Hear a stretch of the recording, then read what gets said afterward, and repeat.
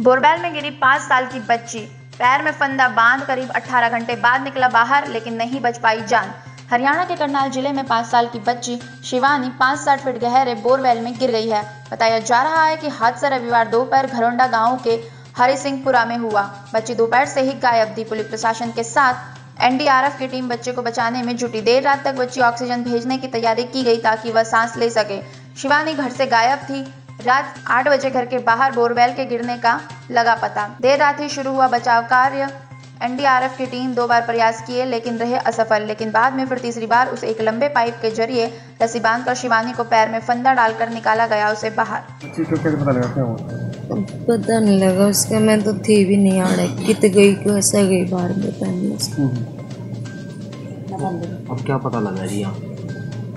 पता नहीं अभी तो कुछ नहीं पता चला।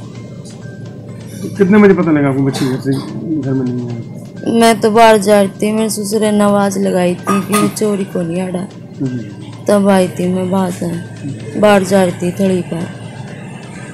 अच्छा तो खुदाई हो रही है जी ये हाँ। क्या नाम है आपका कविता। और डॉक्टर भी साथ गई।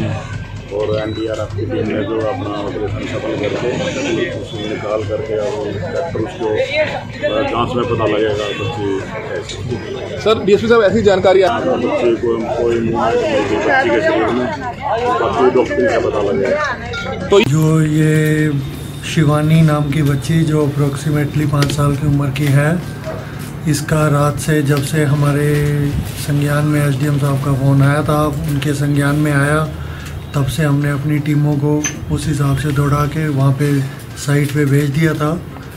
ऑक्सीजन सप्लाई और जो जो अरेंजमेंट करने थे एसएमओ डॉक्टर मनीष गोयल भी वहीं पे थे और उन द्वारा पूरी रात मॉनिटरिंग की गई थी। सुबह रात को एक डेढ़ बजे तक हमने सारी जहाँ जहाँ सूचना देनी थी जहाँ जहाँ टीमों को तैयार करना था, कर दिया था।